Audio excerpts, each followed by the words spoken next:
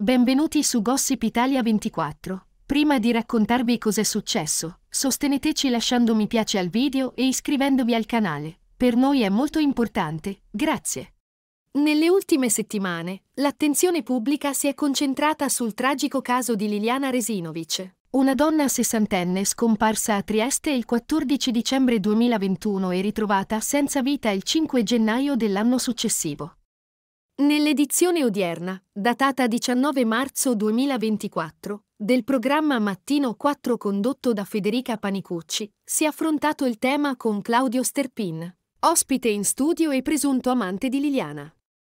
Durante un'intensa conversazione, è emerso che Sterpin e Liliana avevano mantenuto contatti più frequenti di quanto si potesse pensare prima della scomparsa, scambiandosi sette telefonate e numerose altre forme di comunicazione, per un totale di 17 chiamate, di cui Liliana era stata l'iniziatrice in 14 casi.